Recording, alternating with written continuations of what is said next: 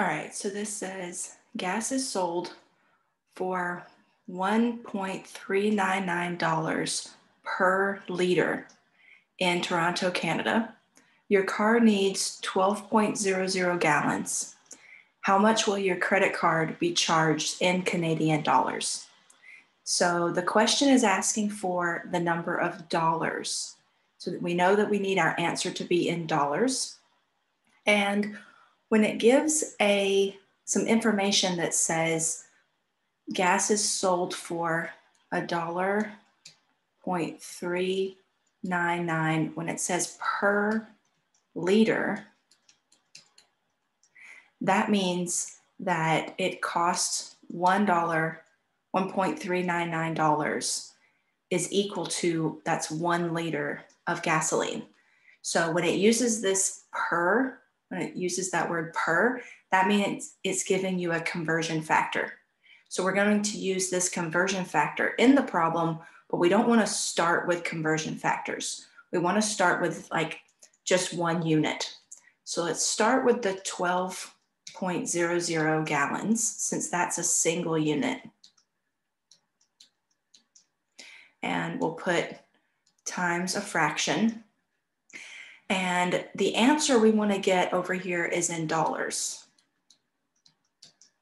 So we need to come, we need to cancel out gallons and get to something in dollars. We have this relationship that gives us dollars and liters.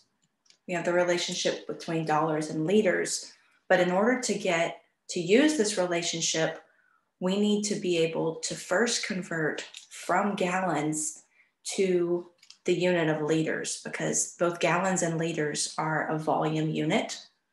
Um, so we can first convert from gallons to liters. Let's use the relationship between gallons and liters should be on your conversion factor sheet. Um, gallons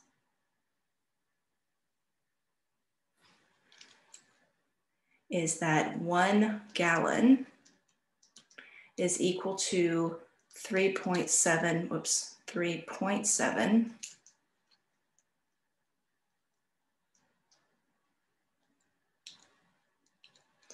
3.785 liters. So we'll use this relationship first and put gallons on the bottom and liters on top. And the numbers follow the units. So the one goes with the gallons and the 3.785 goes with the liters.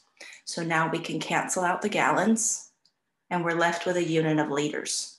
But we don't want our answer in liters, we want our answer in dollars. So now we do another conversion factor. Well, let's cancel out the liters. So we'll put that on the bottom. And we want dollars. We have a relationship between dollars and liters. So let's put dollars on top. And the relationship is that $1.399 is equal to one liter. So the liters cancels out. And we can multiply by our numbers on top, divide by our numbers on bottom. So if we start with 12.00, multiply that by 3.785, and then multiply that by 1.399, we get 63.54 so this is the number of dollars. Um, let's look and see how we need to round our answer. Um, this 1.399 has four sig figs and 12.000 also has four sig figs. So we need to round our answer to four sig figs. That would be to the four. The number to the right is a two, so it's less than five. We don't add a one.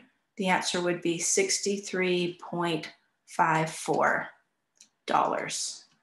So to fill your tank, your credit card would be would be charged 63.54 Canadian dollars. So I hope this was helpful for you. If it was, please subscribe to my channel for more homework help solutions.